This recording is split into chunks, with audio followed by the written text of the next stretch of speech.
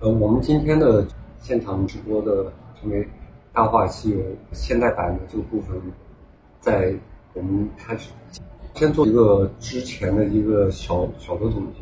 小的总结呢，事实上，《大话西游》最主要的一个主旨就是让我们认清父亲关系里边，我们每个人事实上对情绪体管理的方法。那包括我们现在正面的情绪体的管理方法和如何来做到，它事实上。其实说简单点，就就两种方法，本质上就可以进行很好的管理。我们在今天的课程的末端能给大家讲，有两种最基本的方式。一种方式，还有父母、配偶。没有声音，等一下。我们再做一个测试，OK。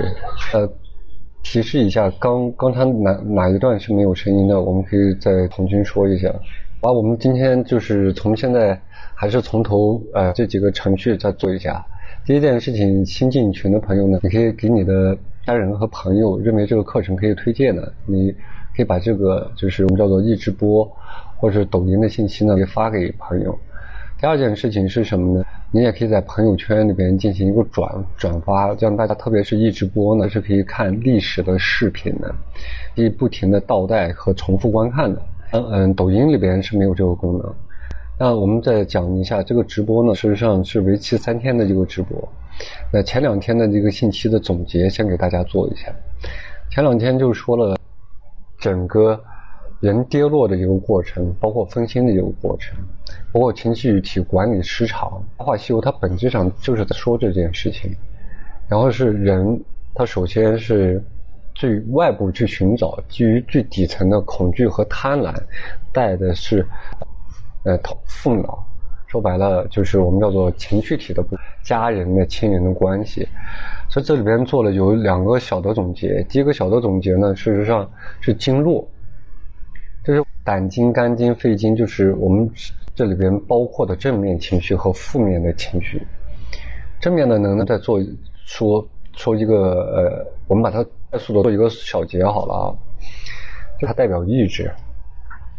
嗯，它是。如果是正向能量呢，它就是会正直；然后如果负面能量的话，它就会悲哀，容易悲。就是肺是事实上是管气魄的，气魄就是肝、胆、脾胃、大肠、小肠和膀胱。现在先先讲肝，肝的这个部分呢，它事实上就是计谋和谋略，就是我们称为的是在一般里边，我们可以把它正面的面相是认为认为是效率，负面的面相它就是愤怒和指责。就是不讲道理的愤怒和指指责，那它是你肝事实上没有运行好的时候会出来这种问题。胆呢，它是如果是用于正面的面相，它是什么呢？决断，就是中正无私。那用于负面的面相的时候就是焦虑。那很多人他事实上就不知道，心肝脾肺肾是个五五角星。你事实上通过腹式的一个呼吸，那你事实上可以把能量从。一个负面运行的能量变成一个正面运行能量的一种方式。那道一在讲什么呢？道一就是在讲这方面课程。道一是整体上是从人多维度身体，就是天的部分，什么决定你？基因里边决定的是什么去，三魂七魄它决定的是你能修为的一个尺度，而七情六欲是你在用什么样的方式，用正面和负面的方式在管理你的情绪。它对外部的事实上是六种关系，就是六亲：亲情、友情、爱情。对应的是有爱亲情呢，它就包括有对妻子的，它有包括对父母的；友情呢，它是朋友的。嗯，它是是呃，是我们叫做事业上的伙伴。分析的一个处理呢，事实上它它是有技巧和方法的。而这种技巧和方法呢，我们事实上在过去不停的在学校里边教你知识，就是耳边身口舌口身意能看到的四象嘛，有很大象的象和很像的象，还有是一个比较像的象，就是永远是给你看的是四象，永远没给你讲事物的本质。所以我们很多时候不是究竟的来对待这些事情的，所以还原回来就是，如果是正面的是接纳和豁达，就是包容。正负面的时候，他就会很急躁。那胃它也代表男女的情绪的关系，也有父母的指责，还有相关性的关系啊。因为事实上，它最主要的是显化，脾是什么呢？就是意思，它事实上把它掰开和分解，从大的一个东西就是逐渐细化的一个过程，这是脾的功能。而且它是碱性的，它能把酸性的东西从溶液里边显现出来碱性。脾是酸性的啊，肝胆里边的肝呢，它是酸，肝是碱性的。那脾里边，它肝胆和脾它对应的是，脾是最大的淋巴，肝胆是最大的消化的部分，肝是主血，血是统精，脾呢是它是统络的，怎么统络呢？它必须这些部分呢，都在丹田那个位置，在人的重心里边归零的时候，它来统络。脾呢，它如果是用于负面的时候，它就是抱怨。和怨恨和委屈嘛，像讲大肠和小肠是负责什么呢？小大肠它正面呢是什么呢？服务，负面呢就是懊悔和烦恼，就是啰嗦。那小肠呢，它事实上是悲悯和怜悯。它如果用于负面的话，它就会是什么呢？哀伤，它会累积他人的哀伤。在这里边还有一个部分呢是膀胱，膀胱它事实上是呃主阳的，就是膀胱它是信息。地球的接触的一个信息面，如果你把它倒立出来，它是和银河和地球的接口。所以膀胱呢，可以认识人体以外的唯独的一个外部接受器官。它对应的另外一个器官是松果体，它在两端。光呢，如果是酒的这部分呢，孩子他成长会慢一些，他会消沉，他就没有斗志。膀胱的负面是这分为左肾和右肾。它如果是用于正，它代表的是精沛。是执行的能力，它也代表公平。那就负面的时候，它就是恐惧，是代既代表恐惧又代表贪婪。左边它代表是就是在负面的时候代表贪婪，右侧它代表恐惧。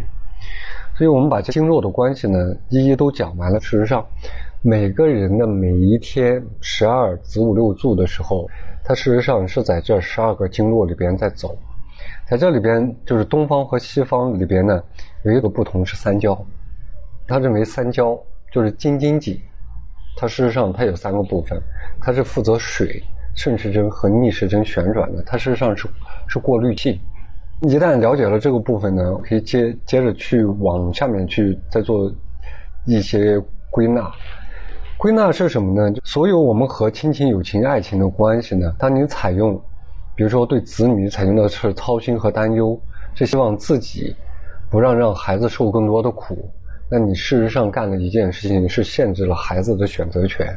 这时候你事实上就用负面的，你的恐惧在限制孩子的选择权。这时候就会产生冲突，介入了孩子的命运。所以对父母的担忧啊，这个部分，比如说怨恨、占有欲等等，在这个里边呢，事实上是我们现在存在的最主要的三亲的关系啊。如果说对合和客户呢，那你会有。这种情绪就是担忧、嫉妒、攀比，还有恐惧。事实上，亲情呢，我们把这些东西啊做一个小的总结，是什么？你是以金钱的损失为代价，然后你以金钱来做事吗？还是你以用心、以爱的模式吗？还是你用头脑的逻辑？你还是用胆的这部分，就是给别人讲道理？你还用膀胱的这部分下载信息？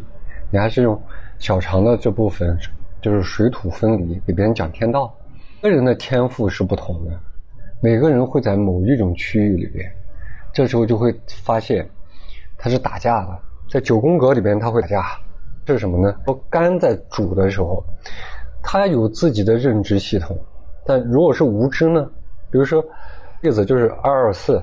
它事实上用大肠吸收了负面情绪体，然后用于肝的时候，想过它会代表什么样的形态吗？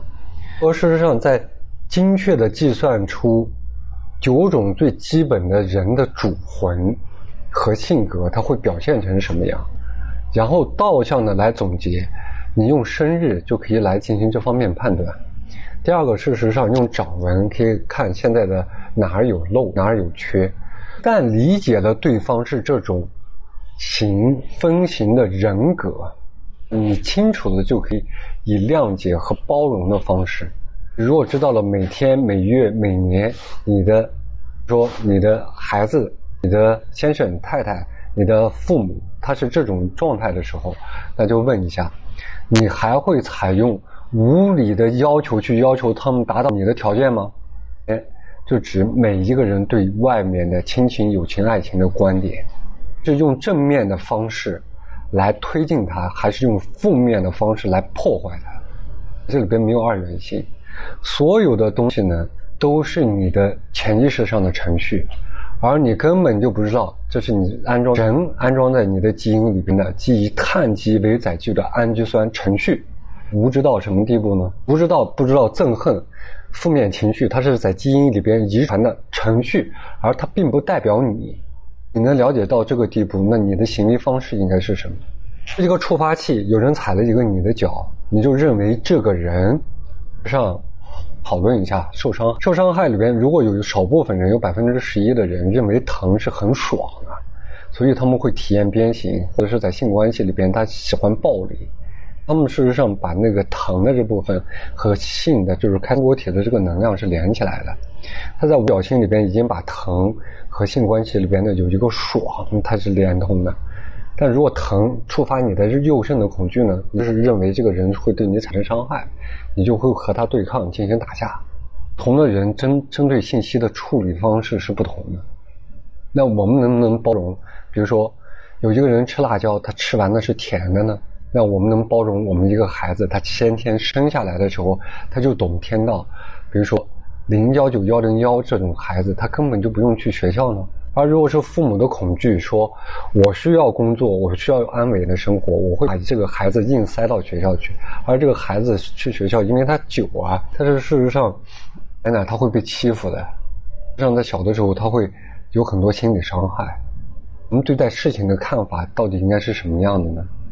因材施教，每个人事实上都是不同的。这件事情也是非常重要的一个节点。嗯，把前面这些信息呢做一个小结，接着大话西游，然后现现在下面的部分。网友叫紫霞姑娘的名字七百八十五次，比上次多了一次。我知不知道？今天的时间可能相对短，所以在这里边呢，我们可能更多的是，呃，往前面跳一跳，讲每个重要的节点。因为大家都可以。我突然只是说跟你说，叫他告诉你，我很想你，你知不知道？我知不知道？是在骗。骗吧，像飞蛾一样，明知道会受伤，还是会扑到火上。这里边会有一个信息啊，就是很多人就会对现在有的一个东西呢，是直觉上面的冲突，在这里边也在做一个提示。你和一个人心有灵犀的时候，这种东西叫直觉，而直觉呢，事实上是日。心识吧，和松果体传递的一个方面，它叫共振。那有很多人呢，他就认为不存在。在现在的科学里边呢，它实际上是产生冲突的根源。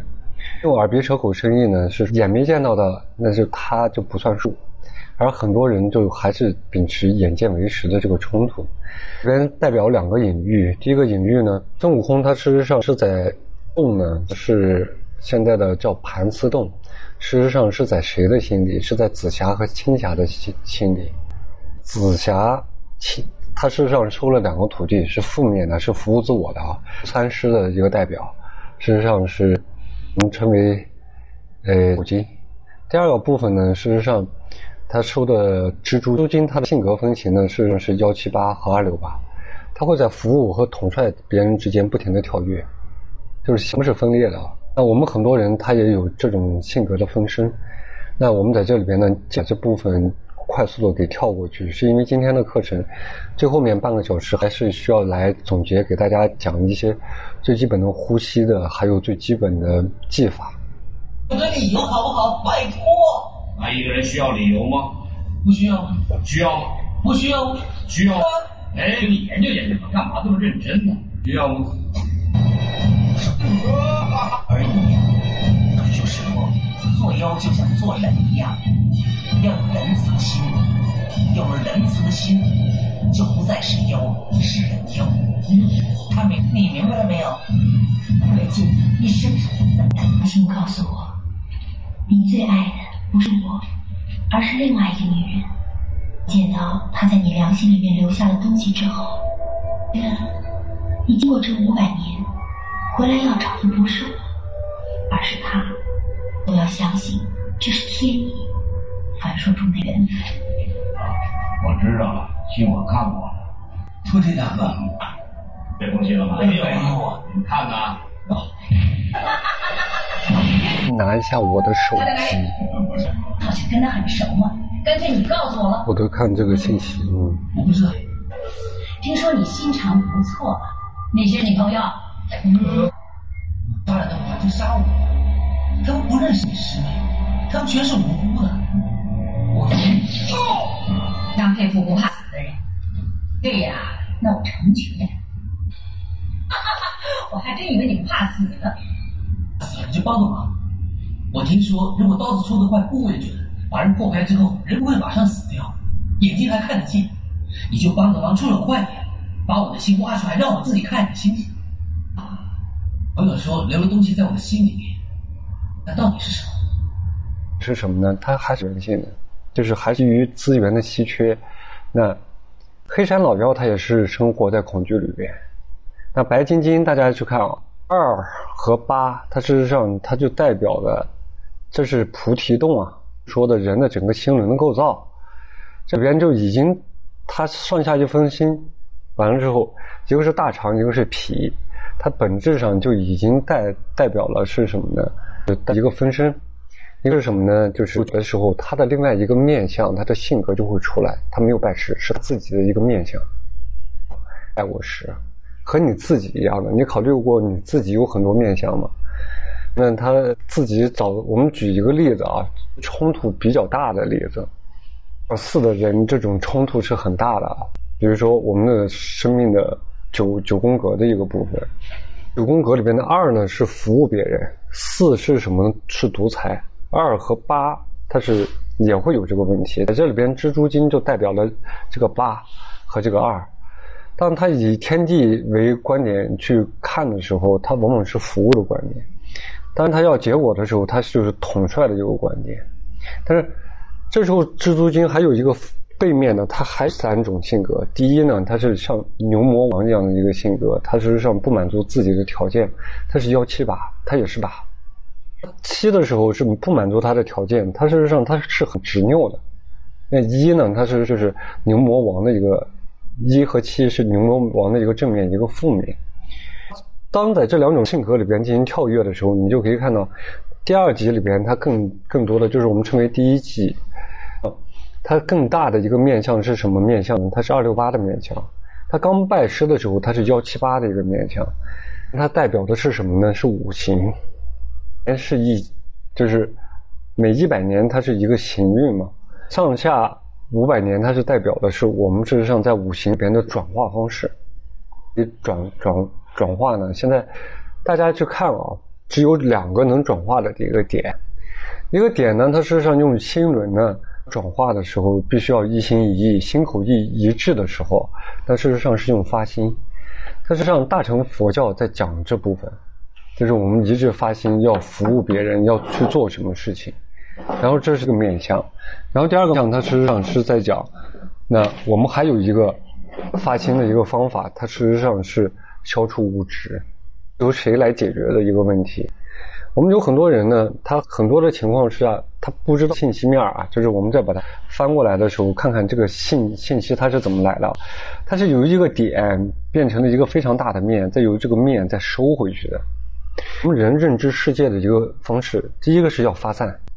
把信息全部收回来，然后基于事件再把它归结，所以这种方法叫演绎，这些叫归纳总结。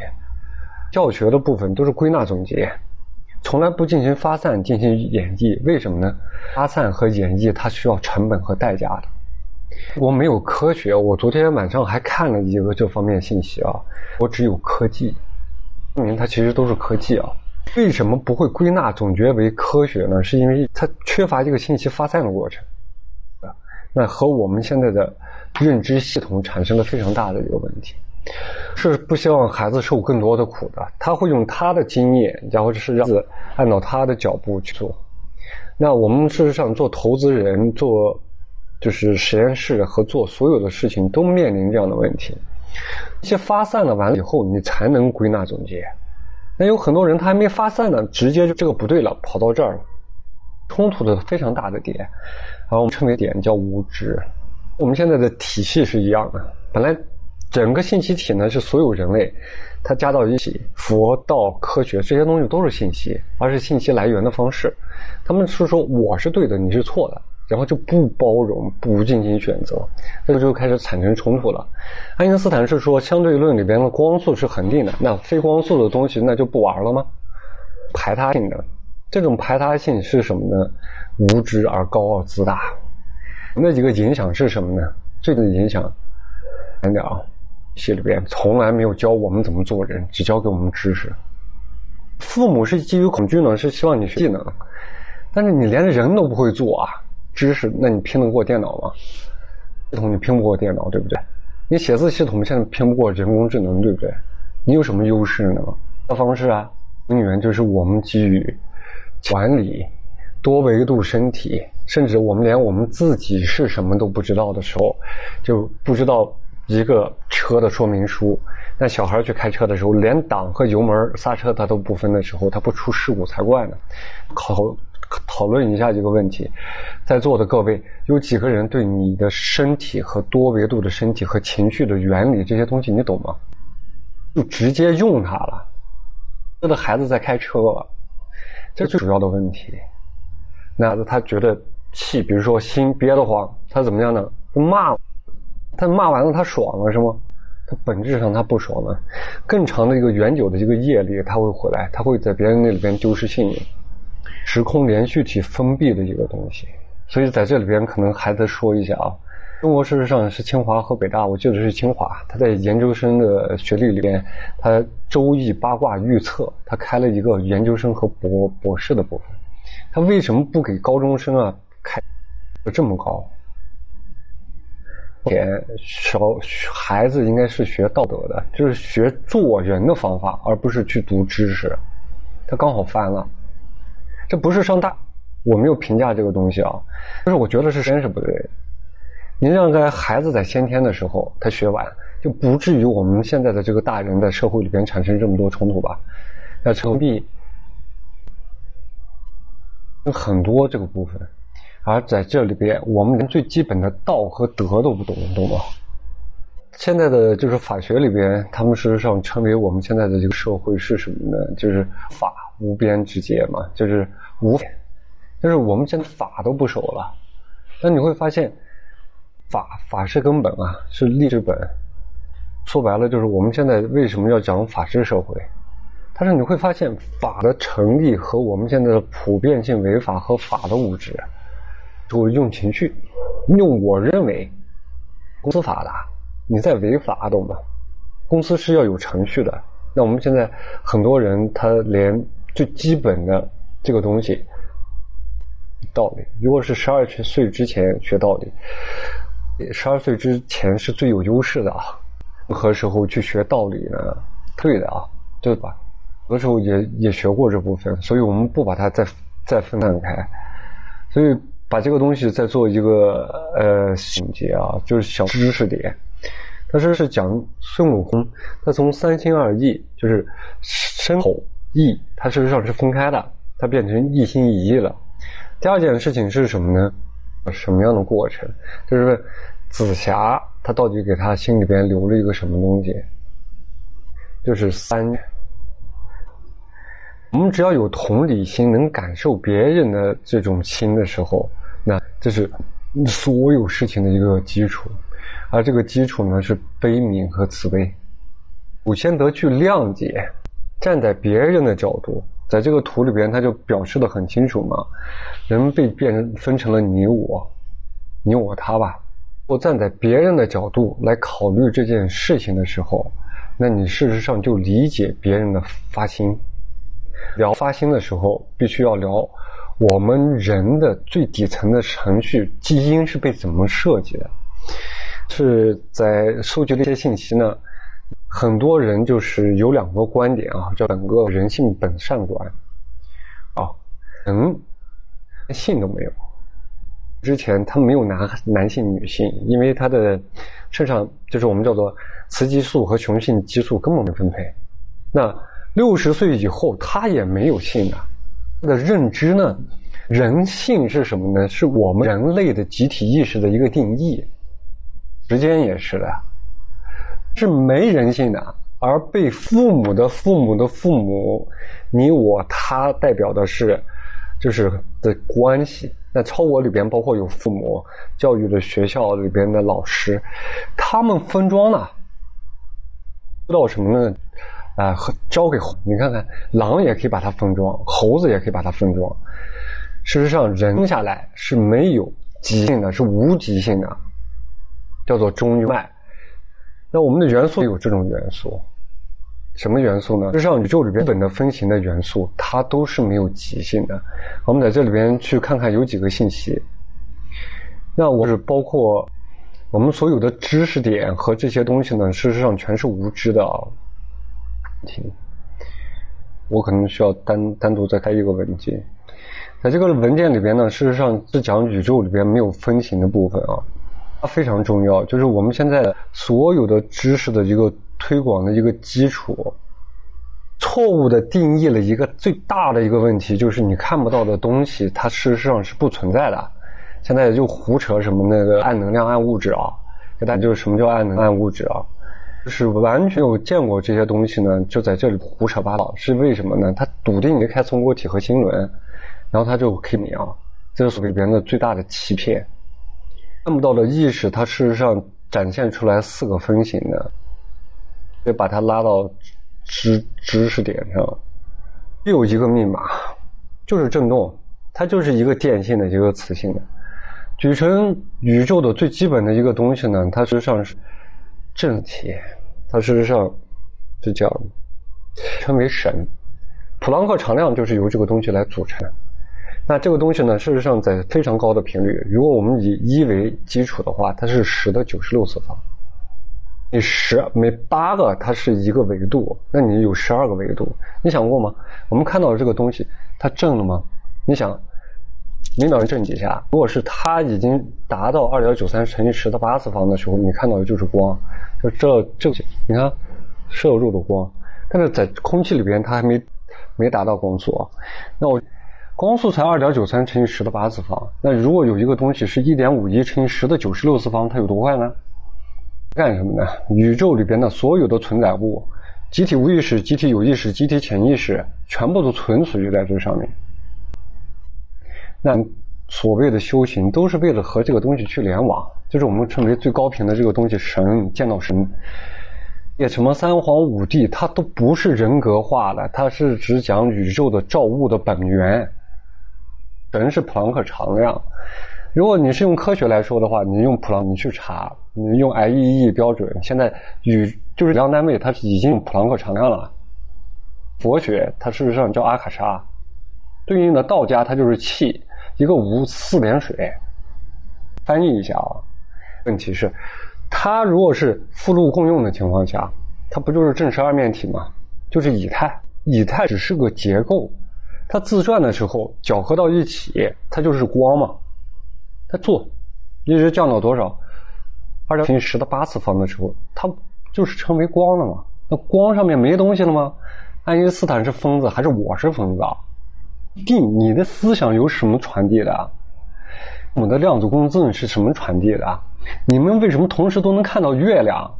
什么东西在传递？普朗克常量。也就是说，我们有多无知啊！体意识接入的这个网络。那你用耳鼻舌口声意，你事实上非用的非常低频的电信的，这不就是耳鼻舌口声意吗？不是二分之一转、四分之一转？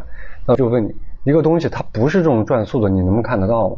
转速的，把眼睛蒙到，你用能用眼睛能听到声音吗？无知，大的无知就是你用什么东西，你用扫描仪，你只能是扫出图片；你用麦克风，你只能衡量分子的二进制振动。这是什么？你要求你所有的东西都能是下面这一条。你作为宇宙里边的神，让所有的分形都是这种正法。知只有网络没有天神来满足你条件的，知道吗？你生活在我认为眼见为实的世界里边，耳鼻舌口身意的世界，我可以不开心轮，我可以不用正面情绪体，你可以这么活着，但是你活不过七十二岁，活着。因为你连自己的说明书都不会，有点激动，为什么呢？我就是什么呢？人世间在活的一行呢，也会用去来玩这个游戏。那有呢，他就根本无知的，就让让我要求满足他的欲望。他是玉皇大帝还是天王老子啊？啊，在我这儿，所以我人可以有情绪，但是一定要有规则的嘛。所以就给大家讲规则的设立和方法。人他都是期望自己订立规则，让别人来遵守，而他的规则，他考虑过公平和效率了吗？不讲道。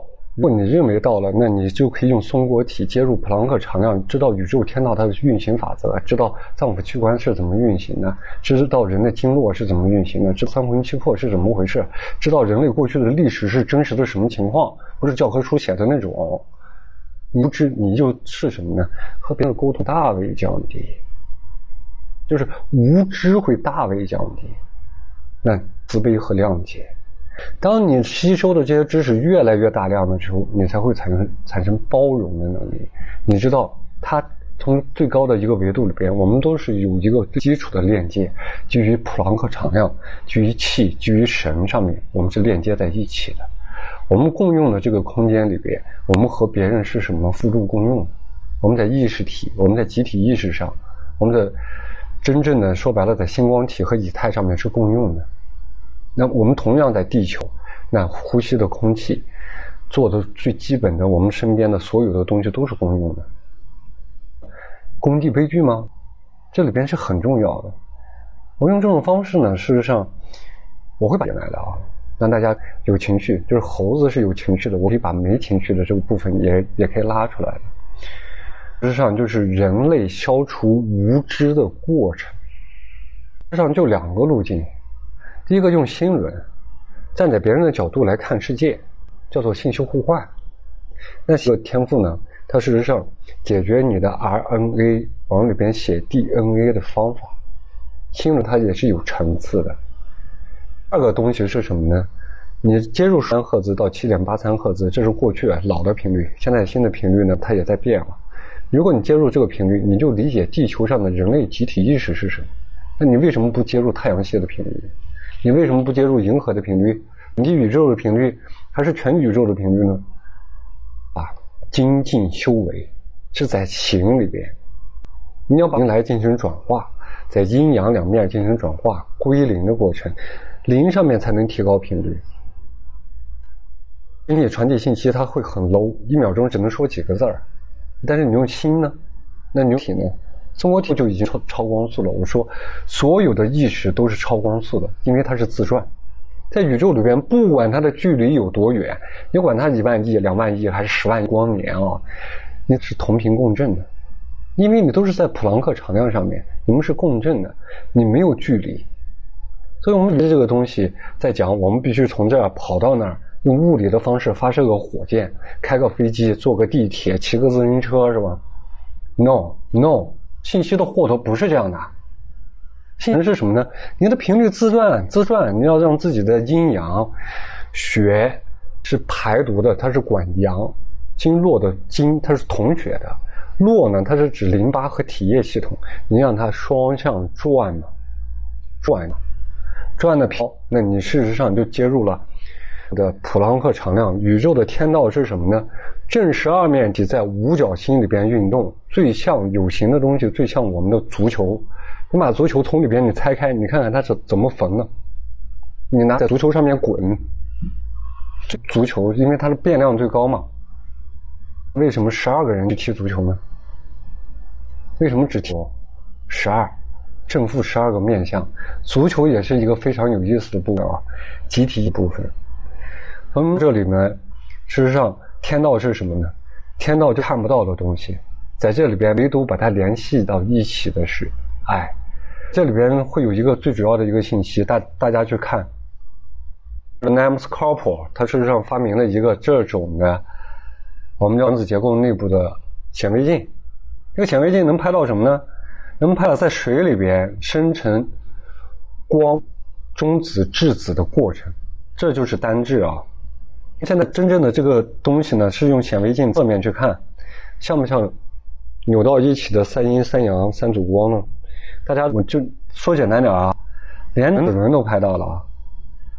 有质子、电子、有中子吗？那都是你从这边上面看，它是这样转的；看它是这样转的。那你翻过来看呢？的方法和角度不同，导致了你的偏差。投影能从所有的角度来看一个事物呢？嗯，那你看你不没有误差才奇怪呢。从多维的维度里边拍到的一个原子结构内部，原子结构内部是六道光，这的基础。它可以被拆成六道光而变成旋，旋就可以变成普朗克常量，它可以被拆分的。质量转化不是 E 等于 mc 方，是 h 等于二分之一 mv 方。哎什么呢？振动频率，它根本就不是质量。还有五恒方程已经忽悠了大大家一百年，如果你还用这种方式的话，你接着会物质，你认为是物质是第一位的，你就会被这里边在忽悠。你要从对错的二元性观点里边变成一种包容的、基于爱的、基于把东西从无序变成有序的情况，基于最集体的付出，基于对什么呢？事物的理解方式来处理亲情和爱情的方法。所以，我们再让大家观看将近呃三十分钟左右，然后我们就进入第二个环节。这个课程里边。刚才已经啰嗦的总总结了很多事情啊，事实上去讲课程，在直播的时候应该把情绪加进去啊，没有情绪他也不人嘛啊，就是不同。妖不是妖他妈！唐僧用道理可以把可以说分了。哈哈哈哈哈！没事，唱吧。等等。哎，妹妹，有救。等一会儿呢，一定会见的。老姐姐，我一定会遵守诺言。走吧，别训自己的姐姐。刘诺啊，那个姐姐，师傅了，我说了吧，你真行。叫什么？哥哥，哥哥，叫。把我移到狗的身上。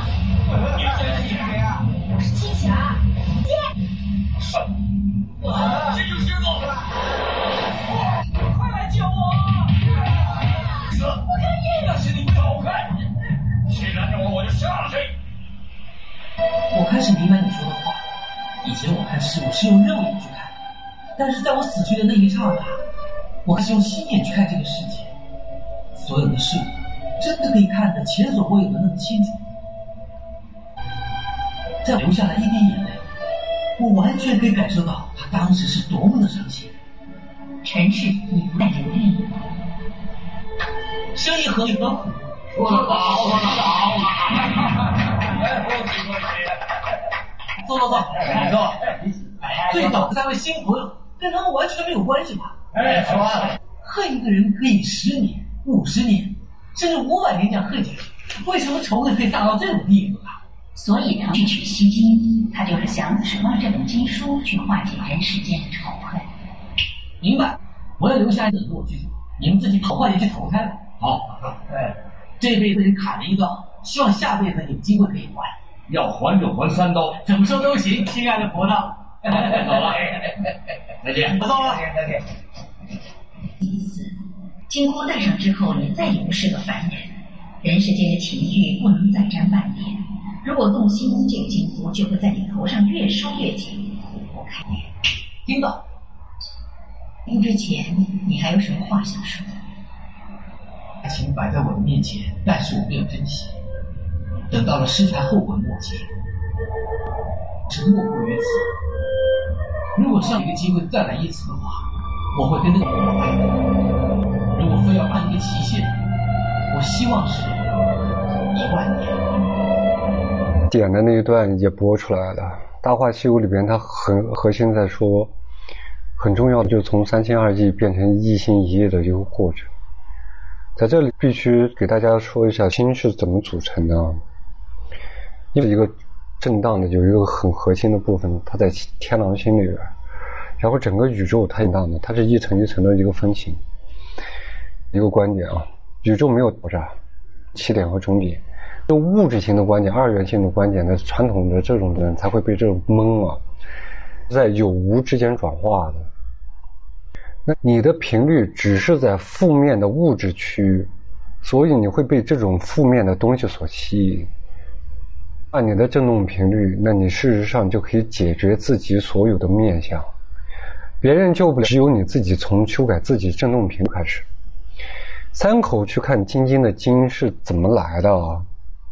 金字呢？它事实上我们去看人的最基本结构啊。呃，白金的金字是这三个金，它往下的它只是什么呢？是情绪上服务自我的，然后服务性的。如果把它竖起来，这三个东西是应该是合合到一起的。我们人是一个结构和形式，三焦分成四个部分。如果先不考虑膀胱，你事实上是有三个最主要的球形的东西。第一个球形的东西看上去是脑子，但是你忽略了一点：宇宙在最初的分形的时候，你的脑子呢？事实上，你看啊，为什么这？你另另外一半脑子在哪？在你的大肠和小肠。所以，所有你吃蛋白质、微生物，事实上是影响你用血液给脑子这个蛋白质提供电信的基础的一个原理。它事实上是一分为二，大肠、小肠加你的脑子是同一个东西，是化学的耳鼻舌口身意的录入器。白晶晶是白晶晶是代表了人事实上堕落的过程里边损失了心轮、损失了松果体而产生的无知的一个状况。一直口生意里边呢，你除了呃睁眼睛就闭眼睛就是什么睡大觉，那还能干什么事儿呢？事实上。我说简单，从三岁有一个天赋，可以利用晚上的时间。然后周期呢，它是晚上到梦境里边的所有东西。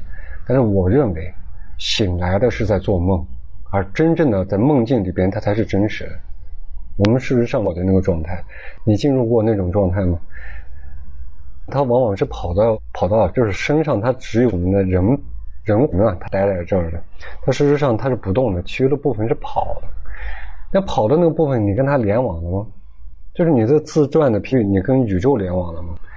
那联网呢有两个东西，一个是心轮。那在这里边呢，事实上已经把人啊是被怎么造的这个东西啊，在这后面这个图里边看得清清楚楚啊。你说都不知道，那你应该首先应该做什么？首先具体是你的说明书的一个部分，在这里边刚才有三个部分啊，第一个那个三个部分事实上是三师。它是哪三师呢？就是思想上，它也有三个部分。最后面他杀的是无知无明。想，看看他最后还想看一眼那个眼泪是什么？是你做事的做什么？就是我们刚才还在问问题：人民币，或者是你父母给你给的定义？嗯，你的文革的那时候资资源很匮乏，他对你的要求就是吃饱了不饿就好了。那你你的整个人生的成长过程中和五角星一样的一个正面一个阴面，一个正面一个阴面在在发展，但是它是波动的吗？还是螺旋的？事实上，我们可以看另外有几个分型，就是整个人的发路路径的和相关性图谱啊。五行上面你应该做的选择权一个链路关系呢？啊是往下面转，还是往平行转，还是往中间转？密码也。讲给大家好了，嘛不是二元性的恐惧和贪婪引起的这些纷争和这些，人最大的是选择权。多维度的选择的时候，大家会发现，当你在三 D 的地球，在六 D 的事实上天狼星还是九 D 的宇宙中心的时候，你的区别就是同一时刻你具有的选择的模式。你现在除了前后左右上下。那你事实上是三个方向，就三，你直接一点呢，相变成四象，就是我们叫做思想的那个思啊，想去掉，那心事实上可以在万象之间变化，人造你的梦，造你的空间，如果我提你会怎么样？便同时选择用心啊，就是说白了，物质界你用脚，你就三个方向，如果你开了心，你就六个方向；如果你开了松果体，你就九个方向同时可以做。它基于大维度，它可以任意穿越。有限的在方向上面的选择，最无就是你把所有的相全部破了，那才叫做智慧、般若。最后你还会变成一个选择权，为什么呢？在宇宙的轮系统里边，你还是要补这一个课。事实上，你无论是天神，你高到什么等级，你在地球这个课你逃不掉。为什么？是因为宇宙里边的分体，你要全部都要经历过。这就牵扯到一个问题，经常是他会做了，我就不不需要做了啊，都会把自己的权利交托给别人，这是我看到在地球上最奇葩的一件事情啊，奇葩到地步，他会，那我就让他做体验吗？你能把细胞里边的 DNA 的程序卸掉吗？你能这样跨维度吗？那是他的事儿，懂吗？你理解最基本的一个点，五行的行是让你经历，所有的东西是需要经历的，你不你就没办法拿到经验，而这种经历，它在两种模式或三种模式，就是你在地球上的无知的选择，用耳鼻舌口身意是一种选择，用心轮是一种选择，用松果体是一种选择，而大多数人呢，你的多吗？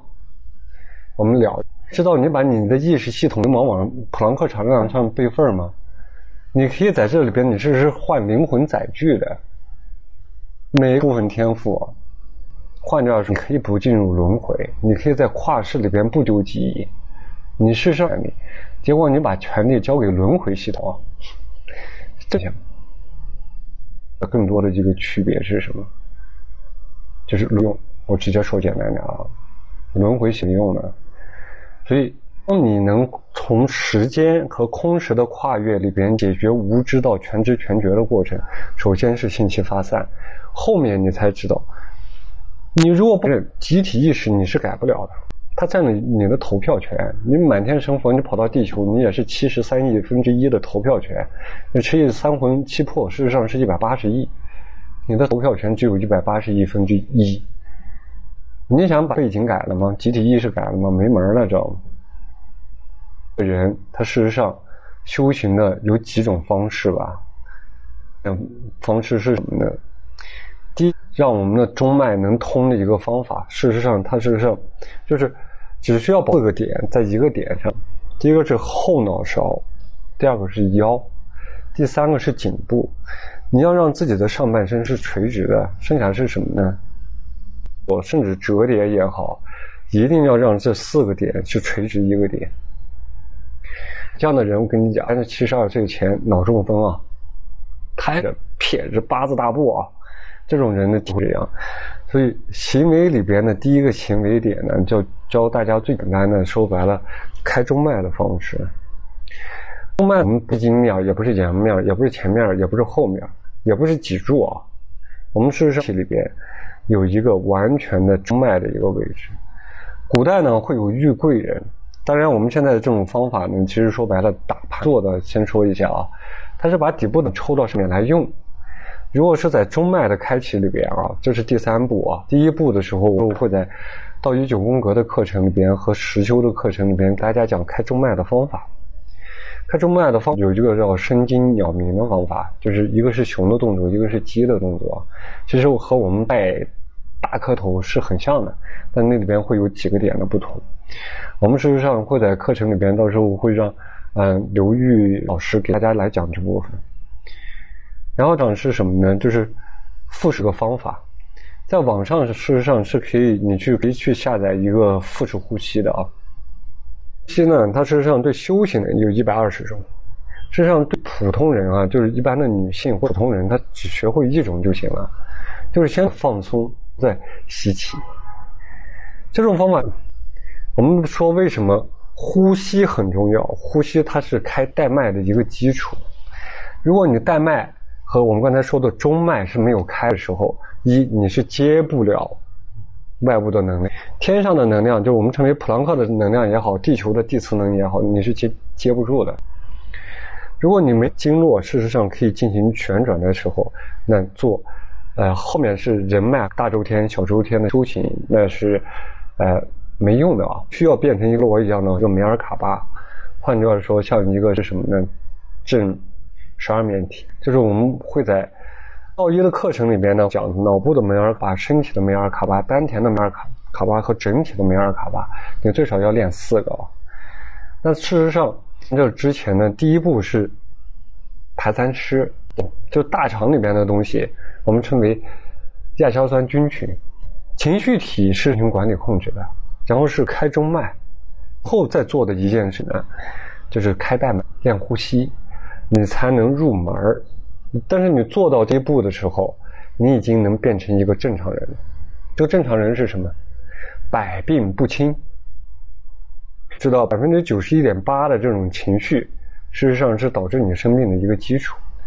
理解到这一点呢，你事实上修到的法位，行为到的一个法位，事实上是地仙啊。那地仙事实上是无，就是我们只能说是等啊。刚才说错了啊，平人。平人修完了以后呢，你事实上如果能把光能转化成中子，然后变成琼浆玉液，滋补全身。延缓衰老这种功法，你学完了之后，你是地仙，就是你可以长生不老啊。一般的来说，二十七岁是人体的正常使用寿命，这是轻易可以做到的。然后再往后的，事实上，你有了足够长的寿寿命和正面情绪体管理，这个时候给你消除无知提供了一个很大的优势。我们是寿命，它为轮分成了很多格的，比如说狗只能活九年。但某些小的东西呢，它只能活，比如说三个月。那你问人能活多久？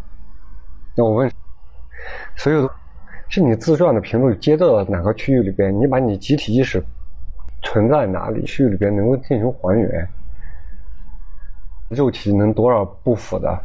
老子来过，说白了就是尼古拉特斯拉也来过嘛。比如说，呃，像佛陀也来，他们在地球上他不死了吗？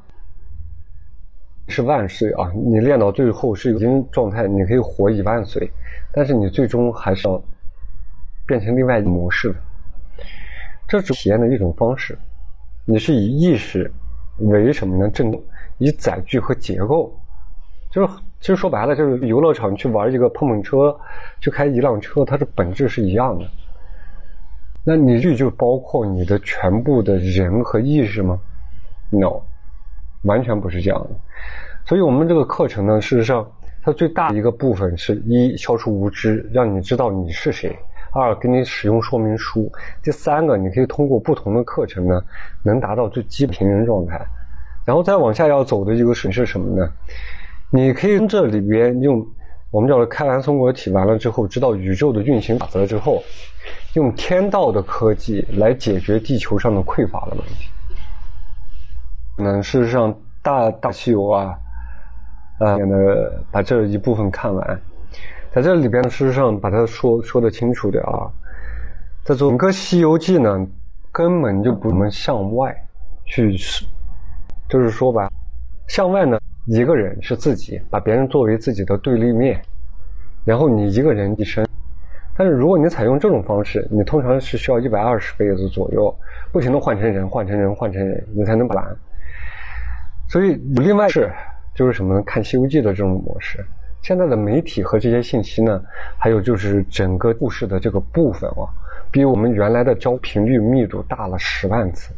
比如说，十万年前地球上总共才有八百五十万人都不到啊，最就是它的密度很稀，每一个群落它不会超过四万人。那人和人之间的意识的这种碰撞的这种概率，它是特别低的。那那时候修行还不如在地球现在一年。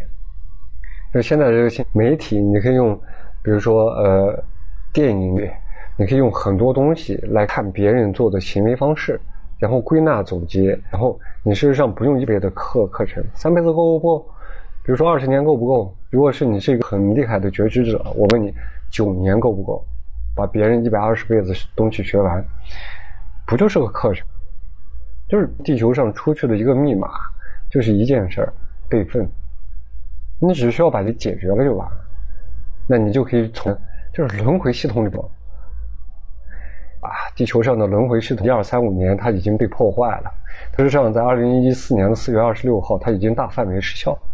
在二零二三年的八月五号到八月八号的时候，它会完全失效。那时候会在地球上出来一个不死的人。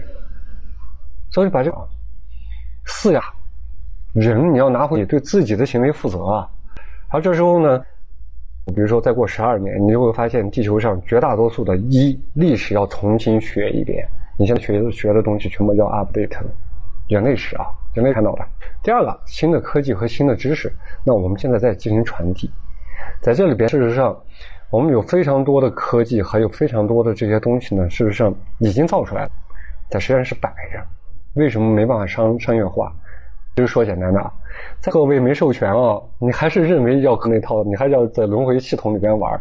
那事实上，我们就不能把它卖给你，是因为我们这方式：第一，教你说明书，在课堂里边学，你在家里边厨房造；第二种方式是什么呢？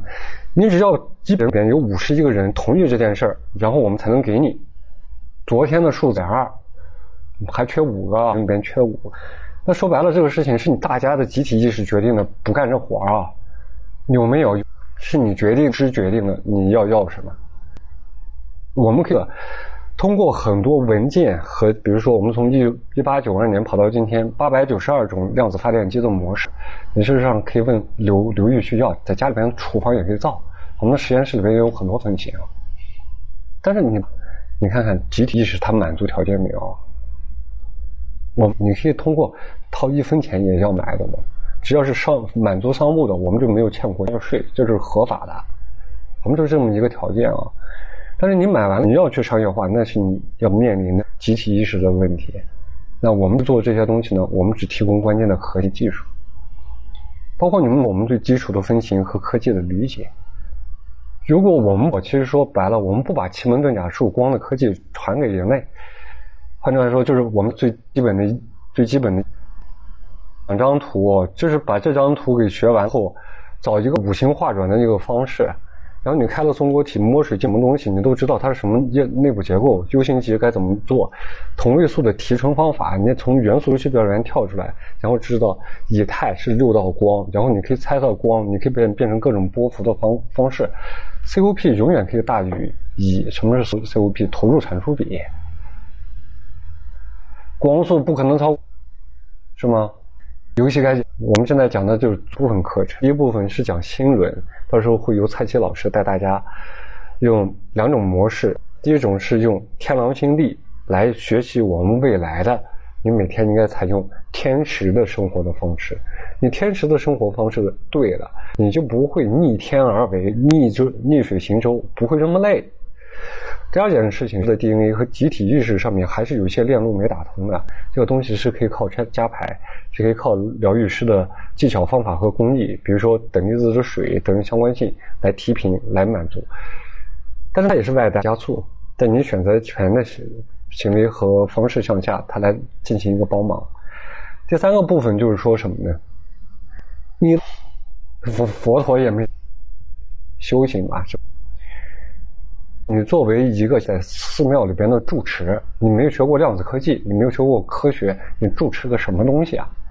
那么都已经黄池佼佼，你已经跑到什么天狼星系里边了？你是跨了另外一个时代，你还用三千六百年前的科技在给我们扯什么胡子是吧？你的地都不在那儿了，你在地球上，地球已经把你推地方了，不是开玩笑吗？先天八卦，后天八卦是怎么？三千六百年，事实上地球的黄石角角变了一下，你从宇宙的区域里边换了一下。原来云着的，最早的是没月亮的，那天地它都变了，我们这种环境都变了，那你还用什么时代的技术呢？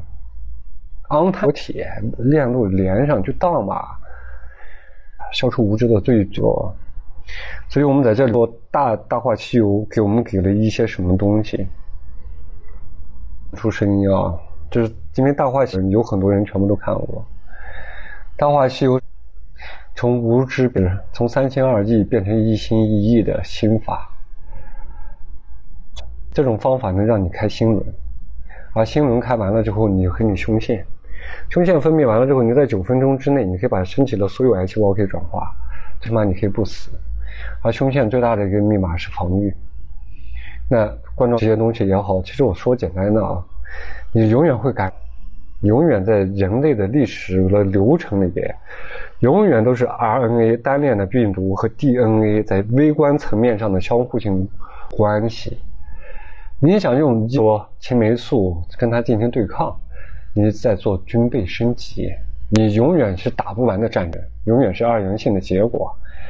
你只有采用包来，允许细胞进来，允许跟它共生。如果你还想激素，想把你的冠状病毒给消掉啊，做梦吧哦！好，直我直接说了点了，放缓你的淋巴免疫系统的可能性。你只有把经络少吃点猪肉，控制点情绪，让身体的气不漏。你才能用更来防御它，建立整体的部分。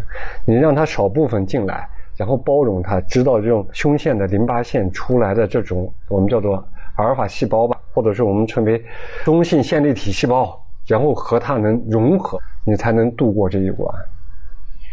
所以 DNA 和 RNA，你认为是真正的天上的神来控制你的生命的吗？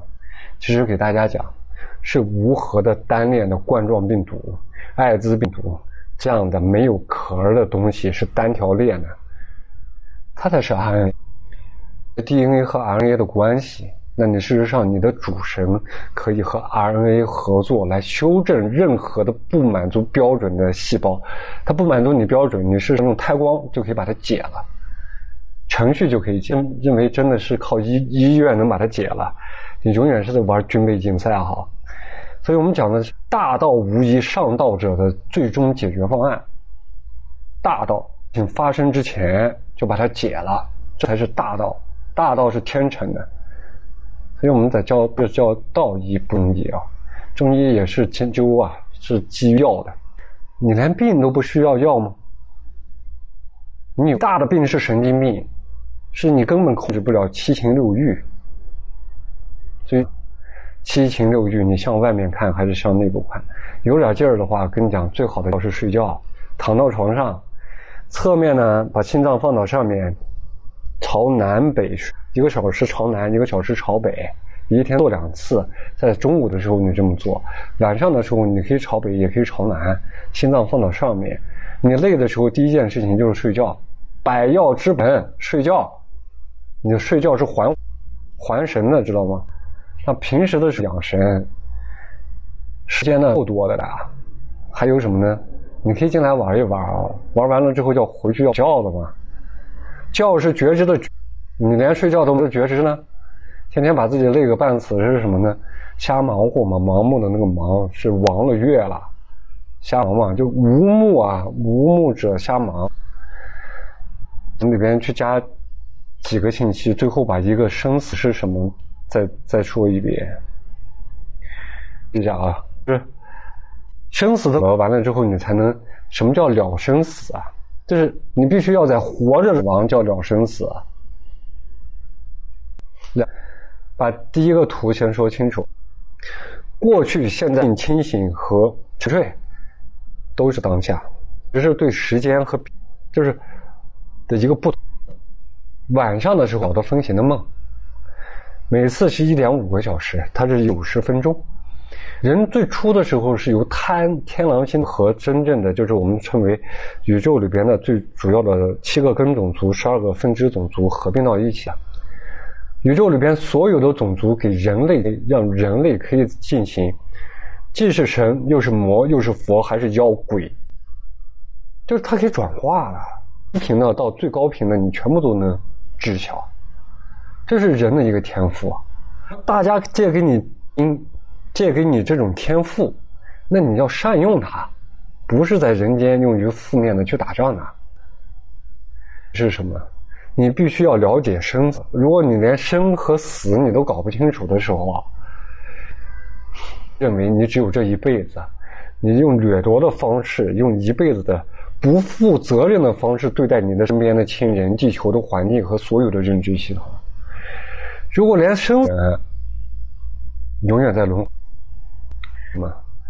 宇宙就是两个光，它实际上是结合的过程。天地之合为人，所以天地两个光锥刚化合的那一点，父子一结合的那个点，事实上是什么呢？还没生产，它经过七天生产到五百一十二个细胞的时候，变成生命之果。这时候就分泌，大家去看 DMT 是什么？二甲基色胺啊，自己去看那个结构是，你就知道它事实上是空间立体结构里边，它事实上是跨维度的，是九维生时。这时候会有一个胎光以太的个身体，永远是在你这个球，就是你认为你的啊。你身上从白运的造运的那一提个球，永远包着你。如果这个胎光走了，你早梗了，就你就死了，懂吗？主魂是你的胎光，所以你根本就不了解生死是什么。日月就是日月生死，六七八九是你在世间玩的一个过程，一到十是在的。那你连一二三四五六七八九十你都不理解的时候，那你事实上就不知道你人生是做什么目的的。两个光锥一结合，主神下来了，形成胎光，你被包住，剩下胎光它开始分层，然后吸纳。白天是七魄，晚上是生三魂，不就这事儿吗？啊，分离之后月过月子的时候，你就被生下来了嘛，对不对？生下来就是这么一个结构，看到了吗？日月是这两个结构，然后你看死是什么结？没，那事实上，事实上。就生和死在斐波那契结构里边找到了是当下，这个当下看看，它包括过去、现在和未来，包括梦境，就是包括所有的东西。这个东西当下就是这个，你我了，这个东西叫当下。那你可以死进入，那你也可以在生的时候把自己把它变成正四面体，然后变成一个梅尔卡巴的载具，你就变成这样吗？所以这个样子是什么样子？生，你事实上把你身体里边造三个，你就变成生命之花了嘛？宇宙就这个密码，在点里边，你事实上可以了悟生死。有几个人做到这个？你看经络都没通呢，阴阳都不注合，中脉都没找到，带脉没开，开什么玩笑？还悟？有很多人说我了悟了，你头脑了了悟吧？你会写悟字了是吗？行为除了这一条没有办法，我教不了你。你只是在行为里边你做到了，懂吗？行为是什么呢？修行是上闭住嘴在那干活，扫地僧扫出来的。你还以为真的通过某一种方式做到那种头脑，永远不可能。要悟生我是说白了，就两种死的方法嘛。这种死的方法是什么呢？你没有悟，把自己的主魂和这种连上，然后不把这一生的经历背儿。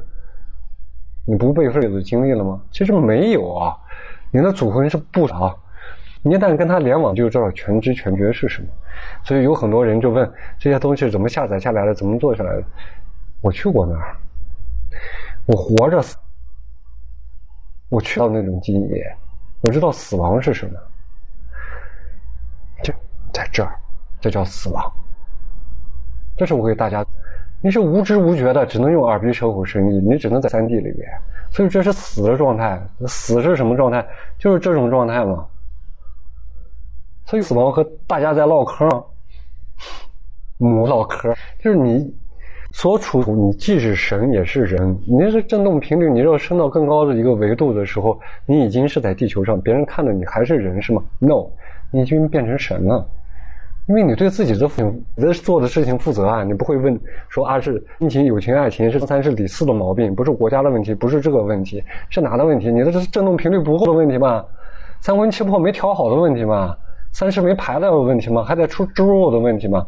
多吃了一些碳十三出的多的问题吗？口欲不洁的问题吗？还有什么问题呢？所有的问题外面没问题。这自己的内部说明书的问题，你搞清楚了，外外部没问题。最大的问题是，整体的意识，地球如果都是这样的话，地球是个癌症，对宇宙才是个大癌症，这才是问题。做好自己，是不是啊？成佛，那事实上别人就不再来造这么多事儿了吗？那就没有人搞军备竞赛，没有人去破坏地球上面这些东西，没有工地悲剧了吗？每个人对集体都要的，和代价的。想当，社会应该给你，地球应该给你，他有义务吗？你没有这里的时候，根种族十二个种族，包括造地球，他经过了四十五亿年，他们做了多少代价呢？你人类是你真正他们做了多少奉献呢？无知是吗？用一根蒜，今天的人民币是不是？你看他为了鸡毛蒜皮的小，在重复的是以消费为了自己的羡慕嫉妒恨，不是左肾就是右肾的问题吗？要不然是没肾的问题吗？耳鼻舌口声音自己也需要什么？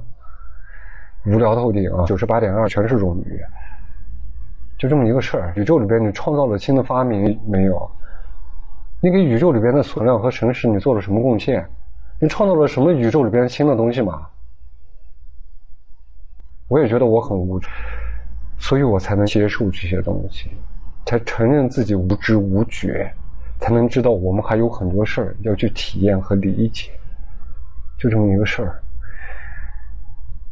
事实上，《大话西游》这里边呢，我们会在未来的课里不间断的，是把《大话西游》做成一个系列，然后我们可以把它一分为技巧的有一部分的拉出来，把鲁班书，包括比如说《封神演义》、《封山海经》，呃，比如说王皇帝啊，比如说《黄帝经》，还有很多的东西把它系列，然后把很多的这这个知识逐渐给大家传递。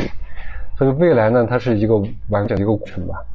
那我们会把它也是呢做成系列，比如说针对不同的人呢，把它做成一个相当于知识库一样的小的知识点的部分。但因为现在的运营和相关性结构呢，我在这个里边只负责当着，这个团队会有一个成长的过程。所以辛苦大家可能会和团队会同时慢慢去成长。第二件事情，我们去做这些事情最主要的一个发心，还是为了一个点：消除无知。在这里，就是在这个课程里边的情绪体的管理模式，还有相关的部分。但我们今天的那个这一部分呢，就主要就